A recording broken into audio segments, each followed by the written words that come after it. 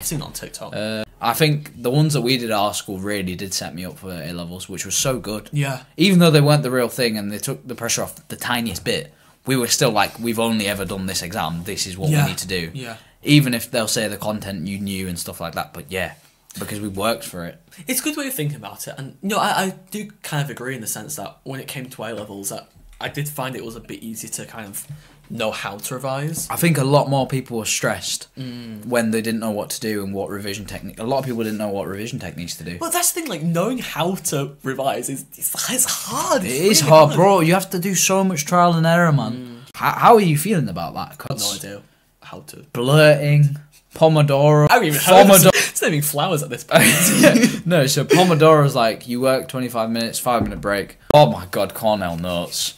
I was Oh, a Quizlet guy. I, you got me onto Quizlet, you know. You got me onto for my final A level exams. Yeah, Quizlet came in so clutch. COVID, man. I still use that at university. Would uh, you, would you say it was less stressful going through COVID and not having to have your conventional exams? Um, if con- if that's even the right word, it's not.